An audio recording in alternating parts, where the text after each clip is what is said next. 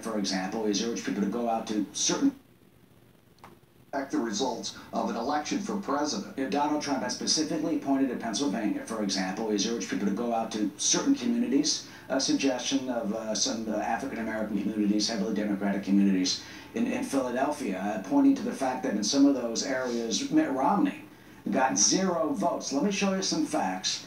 This is from the 2012 election in the 4th Ward in Philadelphia, the 4th Division. Obama got 407 votes, as you can see there, Mitt Romney zero. Another division, 410, Romney, 3. But there are 1,686 divisions.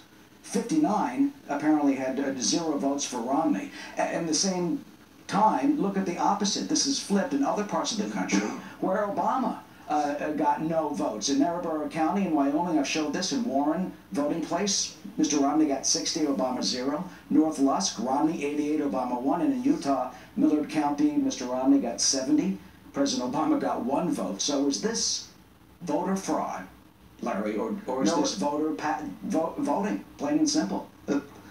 Eric, it's voting. Uh, we are very polarized in this country. And I remember commenting, commenting at the time on the Philadelphia votes because it's eye catching.